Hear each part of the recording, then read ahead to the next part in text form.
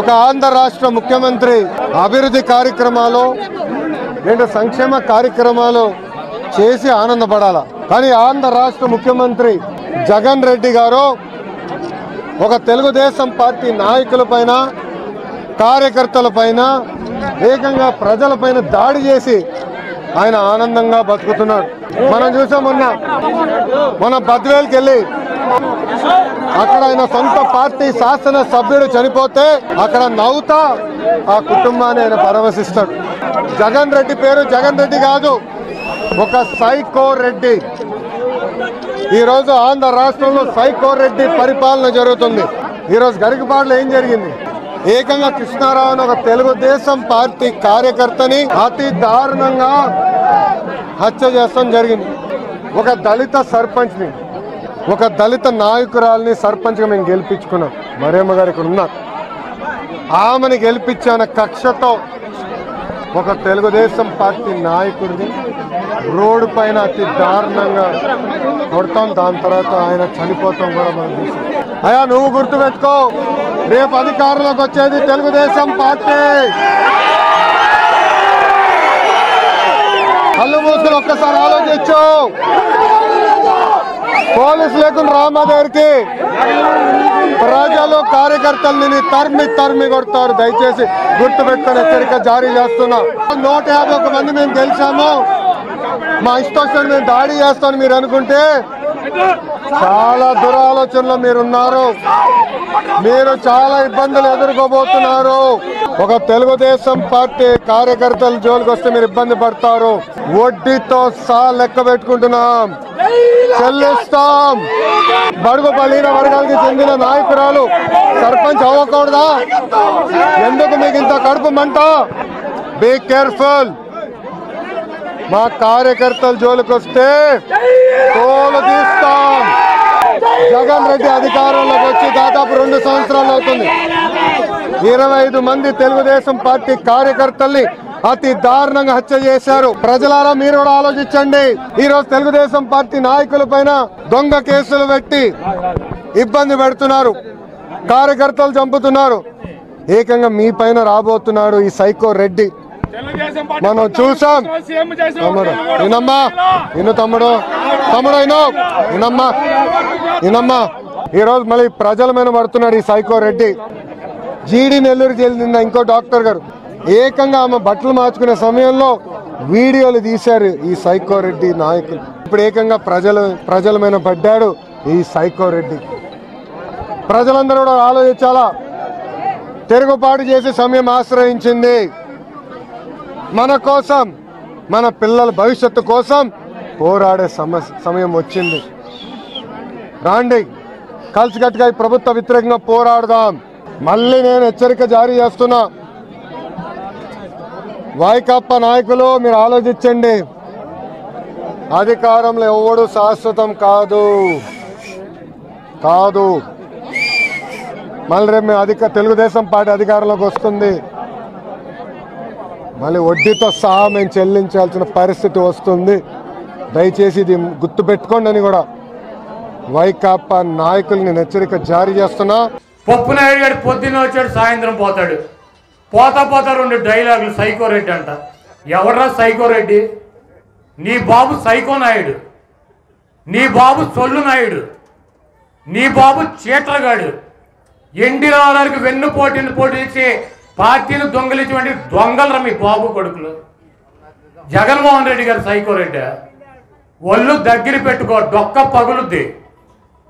పిచ్చి పిచ్చి వాగుడు నోరుంది కదా అని చెప్పి. నీలాంటి చవట సన్నాసులు పిల్లలుగా పుట్టకూడదు శత్రువులు కూడా పుట్టకూడదు అని మనుషులు కోరుకుంటారు. నీలాంటి చవట దద్దమ్మలో నీ బట్టి లుచ్చేగాళ్ళకి జగన్మోహన్ రెడ్డి గారి గురించి జగన్మోహన్ రెడ్డి గారి వాల్యూ గురించి నీకేం తెలుస్తుంది? దొంగతనంగా పార్టీని కొట్టుకొచ్చినటువంటి అదోలరా మీరు బాబు కొడుకులు ఇద్దరు. జగన్మోహన్ రెడ్డి గారి గురించి ప్రజలు ఏమనుకుంటున్నారు? జగన్మోహన్ రెడ్డి గారి గురించి ఈ రాష్ట్రంలో ఉన్నటువంటి ఓటర్లు ఏమనుకుంటున్నారు? మారు వేషంలో బాబు కొడుకులు వచ్చి గ్రామాల్లో పట్టణాల్లో అడిగితే ప్రజలు చెబుతారు. హైదరాబాద్లో కాపురం ఉన్నటువంటి మీ పోటీ యదవులకి జగన్మోహన్ రెడ్డి గారి గురించి ఈ స్థాయిలోనే తెలుస్తుంది. కాబట్టి మాట్లాడేటువంటి మాటలు ఒళ్ళు దగ్గర పెట్టుకుని మాట్లాడాలి. నీలాంటి చౌడ సన్నాసులు ఈ లోకేష్ గారి లాంటి పప్పు వెధవలో శత్రువు కూడా పుట్టకూడదని చెప్పి జనం కోరుకుంటున్నారు. ఎందుకు బతుకుతున్నావు కూడా తెలియదు నీ నీచమైనటువంటి బతుకు. మంగళగిరిలో ఆయన పెట్టినటువంటి అభ్యర్థి చేతిలో ఓడిపోయినటువంటి అనామకుడు వెదవు నువ్వు. కాబట్టి సైకో రెడ్డి పిచ్చి పిచ్చి వాగుడు వాగితే డొక్క పగులుద్ది పప్పు నాయుడు. నీకు పప్పు బాగా తిని ఊర పందిలాగా బలిసి నోటికి ఏది వస్తే అది మాట్లాడితే చూస్తా ఊరుకుంటున్నాం అనుకున్నావేమో. నీ అంతు చూస్తామని చెప్పి హెచ్చరిస్తూ పిచ్చి వాగుడు వాగమాక పప్పు నాయుడు గారు తుప్పు నాయుడు గారు ఇద్దరు కూడా ఒళ్ళు దగ్గర పెట్టుకుని బతకాల్సినటువంటి అవసరం ఉంది. ప్రజలు కాండ్రించి ఉమ్మూసినా కూడా సిగ్గు శరం లేనటువంటి వెధవులు ఇద్దరు. ఈ రోజు వచ్చి జగన్మోహన్ రెడ్డి గారిని నోటికి వచ్చినట్టు మారుతూ నీ అంతు తేల్చే రోజు దగ్గరలోనే ఉంది. రెండు వేల ఇరవై నాలుగు ఎన్నికల్లో ఈ పప్పు నాయుడికి తోడు తుప్పు నాయుడిని కూడా కుప్పంలో ఓడించి బాబు కొడుకులు ఇద్దరిని కూడా ఇంటికి పరిమితం చేసి ఈ రాష్ట్రానికి పట్టినటువంటి నిష్ట దరిద్రం శని అయినటువంటి ఈ పప్పు కానీ తుప్పు కానీ ఈ రాష్ట్రంలోకి అడుగు పెట్టకుండా ఈ రాష్ట్ర ప్రజలు చేయడానికి సిద్ధంగా ఉన్నారు. జగన్మోహన్ రెడ్డి గారి గురించి మాట్లాడేటప్పుడు ఒళ్ళు దగ్గర పెట్టుకుని బాబు కొడుకులు మాట్లాడాలి. పిచ్చి పిచ్చి వాగుడు నీకు నోరుంది కదా అని చెప్పి పిచ్చి మాటలు నీకేదో మూడు ముష్టి ఛానల్స్ ఉన్నాయని చెప్పి వాటిల్లో ఏదో డిబేట్లు నీకేదో సోషల్ మీడియాలో ఉందని చెప్పి పనికిరానిటువంటి రోడ్డు మీద పోయేటువంటి గాలిగాలను తీసుకొచ్చి నాలుగు మాటలు మాట్లాడిస్తే ఇక్కడ అదిరేవాడు లేదు బెదిరేవాడు లేడు. నువ్వు మా ఒకటి మాట్లాడితే పది మాడతాం నువ్వు సోషల్ మీడియాలో నన్ను తిట్టిస్తే నీ అమ్మని నీ ఇంట్లో వాళ్ళు కూడా తిట్టిస్తాం. నీ ఇష్టం వచ్చినట్టు నీ సోషల్ మీడియాలో రెచ్చిపోతే చూస్తా ఊరుకుంటాం అనుకుంటామో ఒళ్ళు దగ్గర పెట్టుకుని పని చేయాలని చెప్పి జగన్మోహన్ రెడ్డి గారి ప్రభుత్వానికి సపోర్ట్ చేస్తే చేయండి. చేసేటువంటి మంచి కార్యక్రమాలు అభినందిస్తే అభినందించండి. అలా కాకుండా మీరు జగన్మోహన్ రెడ్డి గారి మీద అవాకులు చవాకులు పేరుతాం. మీ ఇష్టం వచ్చినట్టు కనుక మాట్లాడితే దానికన్నా ధీటుగా నిన్ను నీ అయ్య తుప్పునాయుడు గారిని మొత్తం రోడ్డు మీద బట్టలు లేకుండా తీసుకొచ్చి నిలబెడతామని చెప్పి హెచ్చరిస్తూ ఇప్పుడు అధికారంలోకి వచ్చేదో పీకుతాడంట. మొన్న పద్నాలుగేళ్ళు అధికారంలో ఉన్నావు. ఏం పీకారు నువ్వు నీ బాబు? పద్నాలుగేళ్ళు మేము ప్రతిపక్షంలో ఉన్నాం. నువ్వు నీ బాబు పద్నాలుగేళ్ళు ఏం పీకారు ఇప్పుడు వచ్చి పీకటాకి మీరు ఎమ్మెల్యేలుగానే గెలవరు మీరు ముఖ్యమంత్రులు అవుతారా?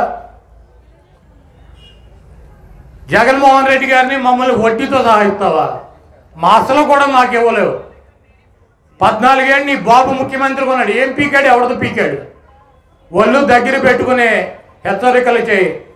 నీకన్నా ఎక్కువ చేయగలం నీకన్నా అరాచకాలు చేయగలం. కాదే మాకు పైన జగన్మోహన్ రెడ్డి గారు ఉన్నాడు. దేవుడు ఉన్నాడు దేవుడు చూస్తాడు.